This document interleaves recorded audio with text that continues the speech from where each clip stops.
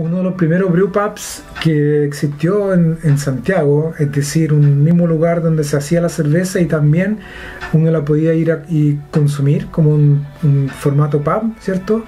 Eh, se llamaba Lum, estaba en el barrio um, Bellavista. En general, bueno, sacaban ellos su cerveza, se hacían eventos, de hecho me acuerdo nosotros fuimos, yo grabé por ahí un par de podcasts también en Loom y ocurrió un, eh, un incidente donde um, en esa época, bueno, principalmente se usaba Facebook como red, red social para promocionar cervezas nuevas, eventos, etcétera, etcétera. Facebook era donde ocurría todo, digamos. Eh, Instagram en esa época no era tan popular como lo es hoy día. Y Untapped hace cinco años atrás, estoy hablando del año 2017, en agosto del 2017, que fue cuando ocurrió este incidente, eh, tampoco no era tan usado como es usado ahora. Éramos pocos, digamos, los que usábamos Untapped para hacer check-in de, la cerveza.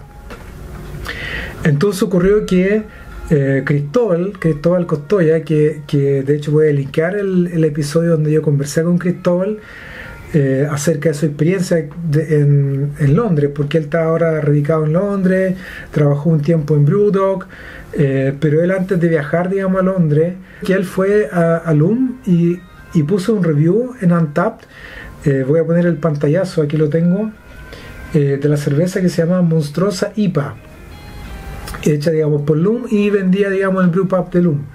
¿Y qué fue lo que pasó en Facebook? En Facebook lo que ocurrió ahí fue que Loom publicó a los días después del review, publicaron un pantallazo y también voy a ponerlo aquí en el video.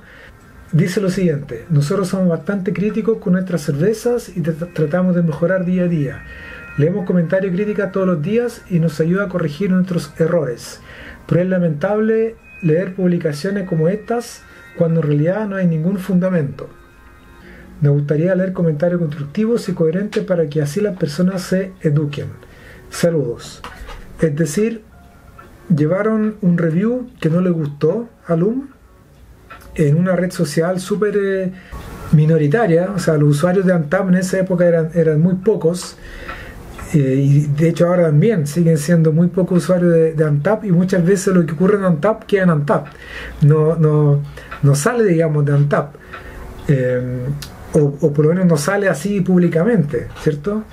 Entonces llevó Loom, esto lo llevó al, al, plano, entre comillas, público, donde la mayoría de las personas solidarizaron con Loom. Yo le pregunté a Cristóbal cuando conversé con él, para que él contara, digamos, cómo fue para él, digamos, cómo él vivió este, entre comillas, incidente. Ese episodio que hubo ahí con, con Loom. ¿En qué época? Eso fue como el 2015 por ahí, 2000, no sé. Algo si... así. Algo así.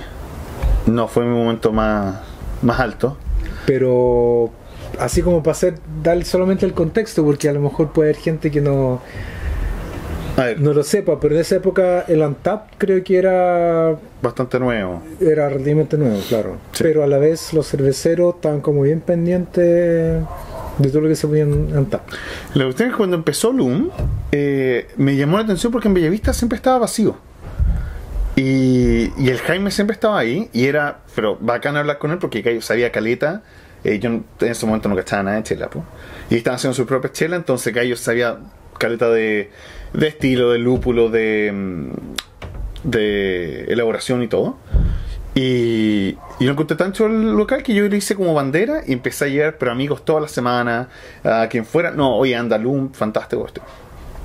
Y de ahí cuando empezó a agarrar un poco más de clientela, eh, dejan, bueno, yo sé que tuvieron su problema que dejan de hacer chela, pero también las cosas que empezaron a traer, onda como Cross, cuando habían otros cerveceros más, poquito más en la vanguardia en Chile.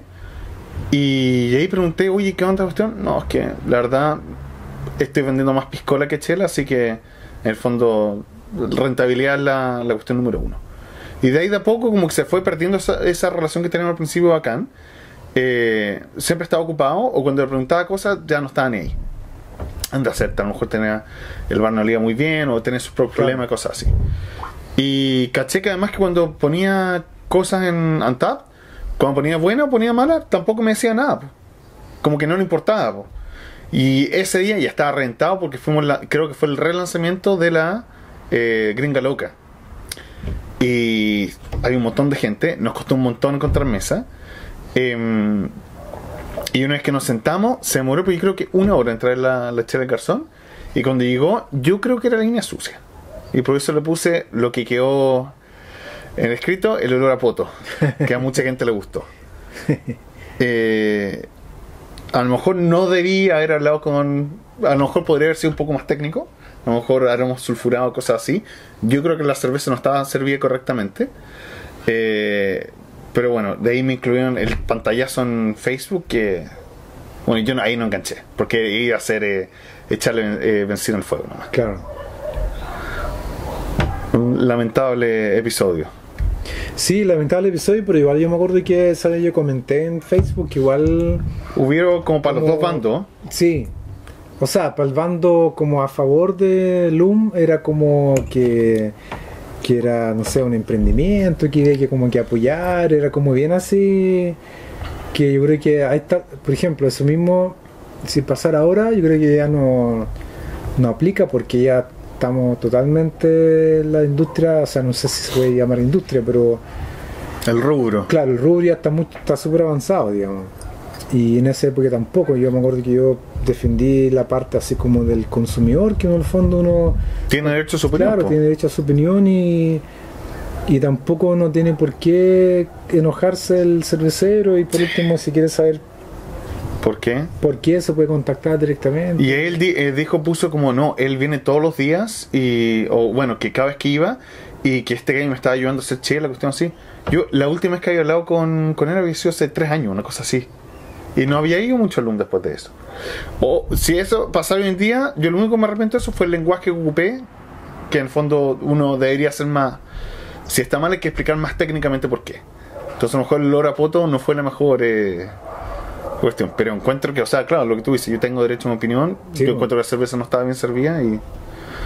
Pero bueno, Pero, pero va a estar ahí en, el, en, el, en la historia, digamos. la historia cervecera chilena. Claro, historia cervecera Bueno. chilena de los de los que tuvimos ahí en ese momento. Hay gente que preguntaba, pero depende del poto. Así que por Claro. lo menos fue un momento de humor.